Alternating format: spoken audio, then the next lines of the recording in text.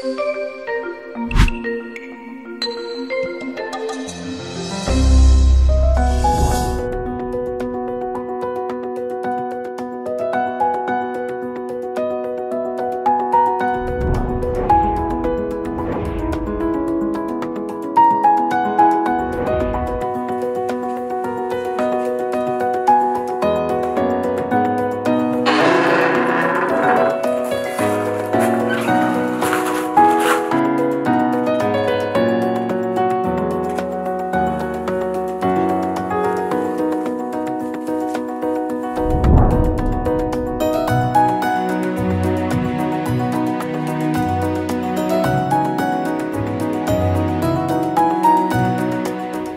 의복이란 멋이나 피부 보호를 떠나 예의를 갖추는 것이 기본입니다.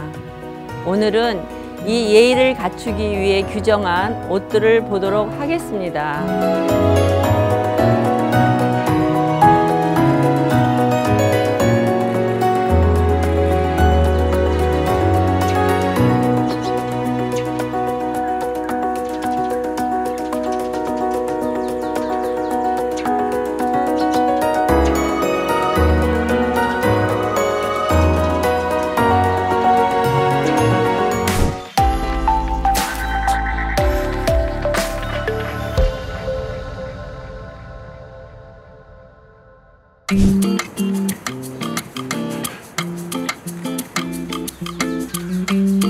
야계복 배자를 입은 남녀 모습입니다.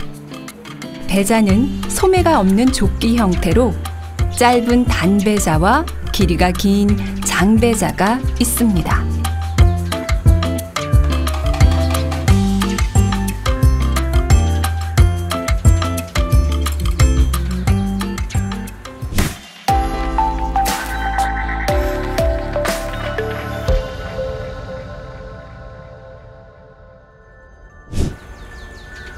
남자는 다포, 여자는 장류를 입은 모습입니다.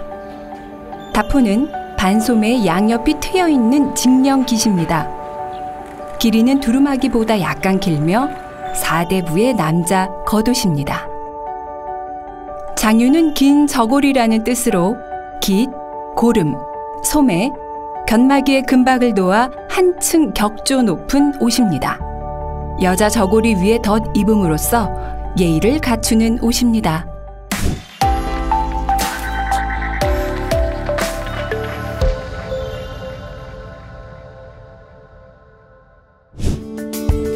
여자는 당의를, 남자는 도포를 입는 모습입니다.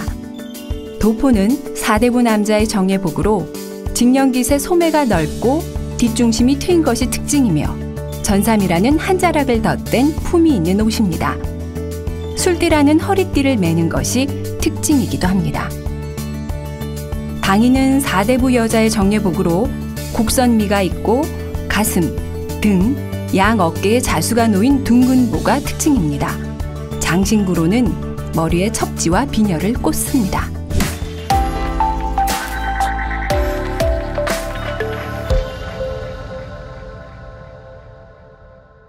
오늘 보신 이 옷들은 예의를 갖추기 위해 정식으로 입은 한복들입니다. 우리는 이 한복을 사회나 가정의 생활 속에서 예의를 중요시하는 선조들의 풍속 문화와 함께 소중히 지켜가야 할 것입니다.